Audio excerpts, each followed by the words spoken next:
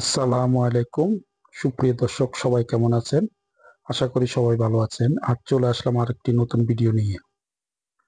আজকের ভিডিওটি হলো ফ্রাইড রাইস। এখানে আমি চিকেন আর ফ্রাইড রাইস নিয়ে দেওয়ার জন্য এখানে মটর, গাজর আর বটবটি, এটা পোলাওর চাউল, এখানে পেঁয়াজ কুচি, টমাটো, কাঁচামরিচ নিয়ে নিলাম। সবজিটা কিন্তু এটা সিদ্ধ করা রেডিমেড সবজি। আমার দোকান থেকে কিনে আনছি। তো দেখতে থাকুন আজকে ফ্রাইড রাইস সাথে চিকেন কারি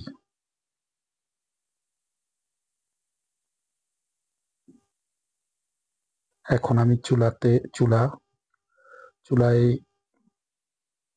প্রথমে মুরগি ভাজবো, যার জন্য মুরগি ফ্রাই প্যান একটা বসিয়ে দিলাম। আর এখানে মুরগিগুলাতে একটু হলুদ আর একটু লবণ দিয়ে মেখে নেব।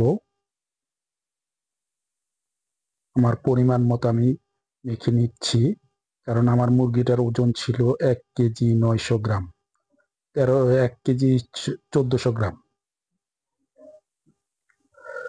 এখন আমি ফ্রাই প্যানে তেল দিয়ে দিচ্ছি পরিমাণ মতো গরম হওয়ার জন্য।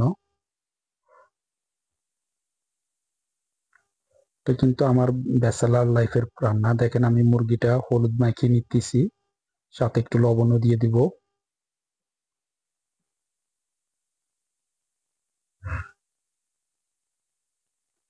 এটা কিন্তু আমি কাউকে অনুকরণ করে রান্না করতেছি না, এটা আমার নিজের ইচ্ছা মতে। আমার যেভাবে ভালো লাগতেছে আমি এভাবে রান্না করতেছি, এইখানে আমি কাউকে অনুকরণ করতেছি না।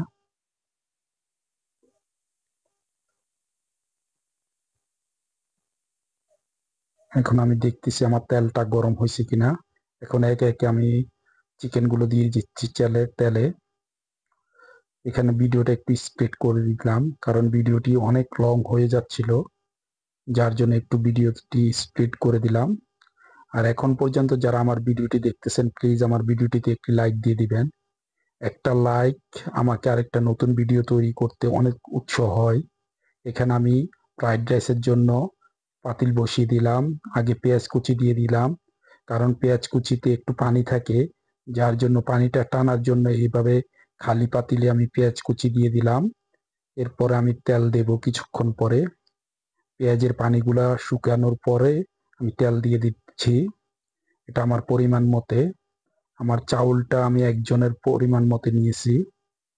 প্রায় আধা কিলো চাউল নিয়েছি। আর প্রায় সবজিটাও প্রায় আধা কিলো।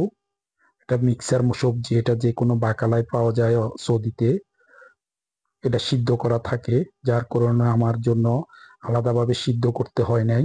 এখন তেজপাতা দিয়ে দিচ্ছি। আমাদের জীবনটা দেখেন, রান্নাতে সর্বপ্রথম আমরা তেজপাতা ব্যবহার করি। কিন্তু খাওয়ার সময় এই তেজপাতাই কিন্তু সবার আগে তুলে ফেলে দেয় আমার আর একটা রান্নার পদ্ধতি হলো পেঁয়াজ দেওয়ার পরে লবণ দিয়ে দেওয়া, যাতে পেঁয়াজটা তাড়াতাড়ি সিদ্ধ হয়ে নরম হয়ে যায়। এখন আমি এলাচি দিয়ে দিচ্ছি। এখন আমি গোলমরিচ, লং দিয়ে দিতে, দিচ্ছি পরিমাণ মতে। এটা কিন্তু আমার সম্পূর্ণ পরিমাণ মতো, আমার চাউল অনুযায়ী। এটা আবার কিন্তু কেউ কিছু মনে করবেন না। আমি কোনো মেজারমেন্ট নিয়ে মেজারমেন্ট করে দিচ্ছি না। এখন দারচিনি দিয়ে দিব। দারচিনিটা একটু ধুয়ে নিতেছি।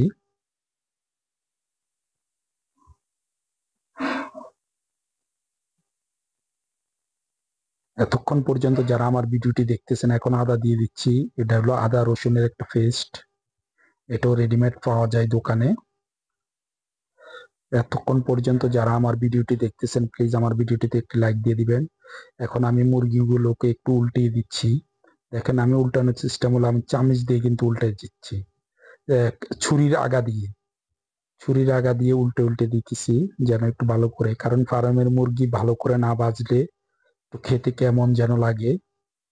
একটু ভালো করে কড়া করে বাজলে কিন্তু একটু খেতে ভালো লাগে, যার কারণে এইভাবে ইয়ে করলাম।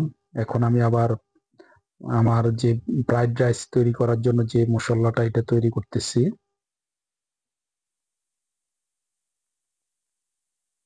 আমি কিন্তু পানি গরম দিয়ে দিছি। এখন আমি চাউলটা দিয়ে দিলাম। চাউলটা দিয়ে অনেকক্ষণ চাউলটা বাজবো আমি, এরপরে সবজিটা দিব।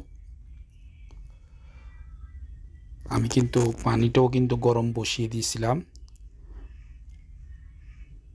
এদিক দিয়ে মুরগিগুলো আমার বাজা হচ্ছে।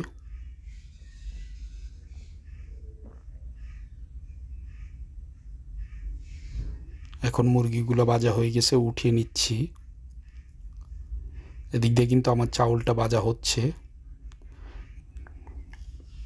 এখন আমি দ্বিতীয়বারের মতো মুরগিগুলো দিয়ে দিচ্ছি। মুরগিটা কিন্তু আমার দুইবার দেওয়া লাগছে, যেহেতু আমার পাইপেনটা ছোট।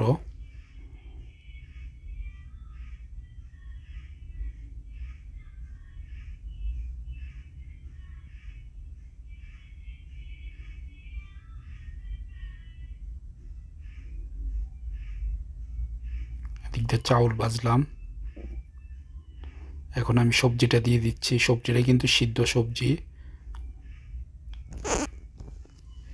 সবজিটা দিয়েও কিন্তু আমি অনেকক্ষণ চাউলটা বাজবো আর আমার ভিডিওটা ফাস্ট করে দেওয়ার কারণে হয়তো আপনারা মনে করতেছেন আমি খুব দ্রুত পানি দিয়ে দিব। কিন্তু না, আমি কিন্তু ভিডিওটা ফাস্ট করে দিছি, যার কারণে এমন মনে হইতেছে। অনেকক্ষণ কিন্তু আমি সবজিটা দেওয়ার পরও চাউলটা বাজছি এখন আমি পরিমাণ মতো লবণ টবণ ত্যাগ চেক করে আমি এটা রেখে দেবো, লবণটা চেক করে নিলাম। পরিমাণ মতো আর একটু লবণ লাগবে, এই কারণে লবণ দিচ্ছি।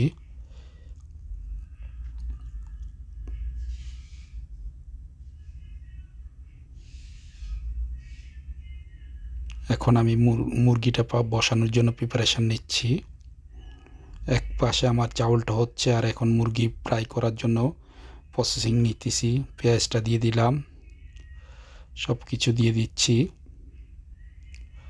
পেঁয়াজটা আগে একটু পানিটা শুকিয়ে নেওয়ার জন্য আগে দিয়ে দিলাম, এখন তেল দিয়ে দেবো।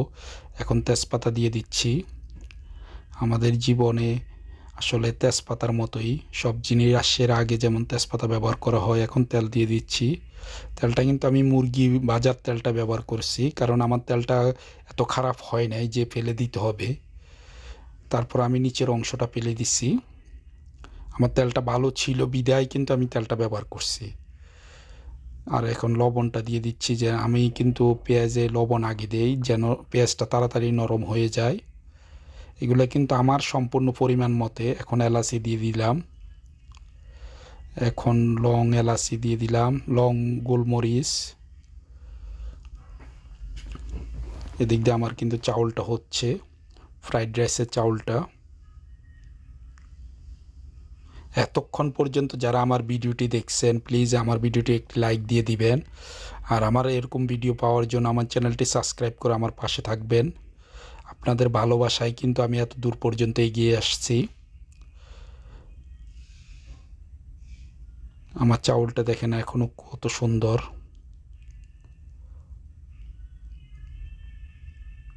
এখন আমি আদা রসুনের পেস্ট দিয়ে দিচ্ছি মাংসতে। এখন মাংসর মশলটা, মশলাটা আমি কষাতেছি। আমার পরিমাণ মতো আমি আদা, রসুন পেস্ট দিলাম। সবাই সবার পরিমাণ মতো দিবেন। এখানে যেহেতু আমি নির্দিষ্ট করে বলি নাই, এই কারণে সবাই সবার পরিমাণ মতো দিবেন। আমি এখন মাংসটা হচ্ছে, মাংসর মশলাটা কষাইতেছি। এখন আমি হলুদ মরিচ দিয়ে দিব। হলুদ দিয়ে দিচ্ছি আগে পরিমাণ মতো, এক চামচ। এরপরে মরিচের গুঁড়া, এক চামচ। এরপরে কারি পাউডার, এটা হলো সকল মশলার দিয়ে তৈরি কারি পাউডার, এটাও দিয়ে দিলাম পরিমাণ মতে। এখন আমি একটু পানি দিয়ে এটা ডাকনা দিয়ে রাখছি কিন্তু আমরা ভিডিওতে দেখেন আমার চাউলটা হয়ে গেছে। চাউলটা হয়ে গেছে, আমি চুলাটা বন্ধ করে দিছি, আমার চাউলটা হয়ে গেছে। এখন এইভাবেই হবে কিন্তু, এইভাবে ডাকনা দিয়ে রাখব এভাবে হবে। দেখেন আমার মাংসর মশলাটা দেখেন কত সুন্দর হয়েছে। সবাই বলবেন আমার কেমন হয়েছে, এখন মাংস দিয়ে দিলাম।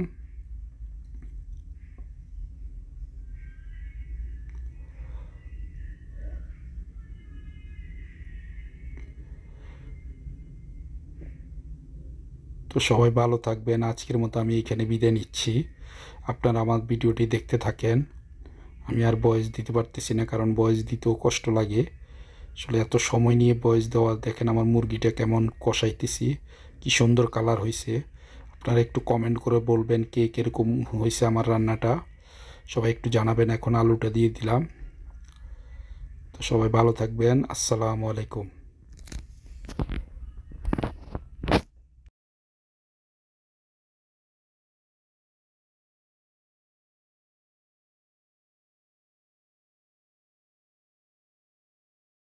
thank you